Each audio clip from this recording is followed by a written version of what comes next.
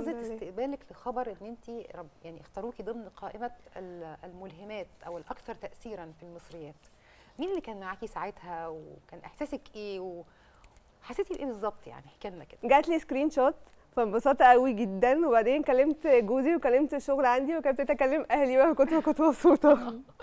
إحساسي إيه؟ انبسطت و- وكنت فخورة وكان motive ليا إن أنا أبتدي إن شاء الله قدام أعمل حاجات تانية أحسن كان هدف كتير. ليكي آه فعملتي خطة بالفعل مستقبلية إن شاء الله؟ ما عنديش خطة مستقبلية قوي غير إن أنا أحاول أشتغل أكتر فأنجح أكتر إن شاء الله. بس هبة سألت سؤال في أوله وعدته كده يعني الصعوبات. يعني انت أكيد آه، ما نجحتيش كده. واتكرمتي كده بسهولة يعني في صعوبات عدت عليكي.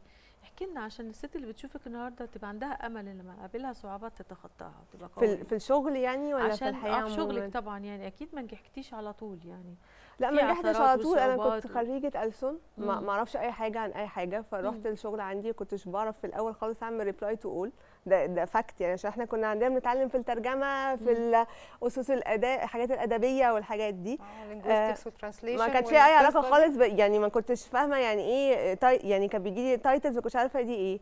آه مديريني بقى خدوها لي خدوها معايا بالراحه خطوه بخطوة. بعد كده أهلي ابتدوا يدوني آه يشجعوني إن أنا ابتدي آخد دراسات. بعد كده جوزي ابتدى يديني support فهي حاجة بت- بتوصل لحاجة بتوصل لحاجة.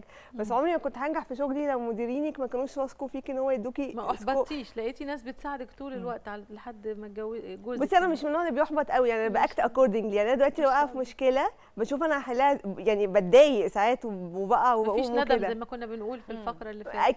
في حاجات وحاجات. ما في حاجات كتير كل إنسان بيخطئ في حاجات. يا يا ريت لي حضرتك فاهمة نندم؟ ونقوم نقف ونكمل عادي. ندم هتأكتي اكوردنجلي ما عندكيش حل تاني. أنا